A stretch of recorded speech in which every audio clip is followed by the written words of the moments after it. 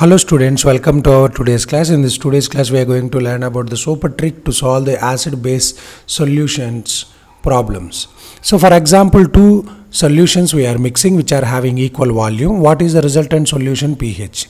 So for this type of problems, we need to think about only one thing. You have to check the given solution's pH value. If the both pH values are less than 7, the resultant solution will be acid. We know about that. Now both should be taken in equal volume. What is the resultant solution pH? Very simple. The answer for this one is 4.3. How can I say in the two solutions that pH is less than 7 the lower pH should be added with 0.3 that would be the answer. Very simple trick.